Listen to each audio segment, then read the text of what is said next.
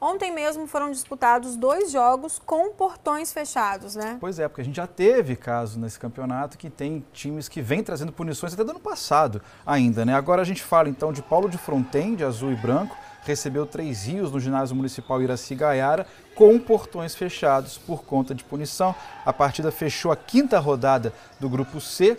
Três Rios saiu na frente com Sobreira, Paulo de Fronten empatou com o Luquinha já no segundo tempo mas o Giovani, com gol contra, e o André Branco selaram a vitória dos atuais campeões. Paulo de Fronten 1, Três Rios 3. Com esse placar, Três Rios segue aí na liderança do grupo C, agora com 9 pontos.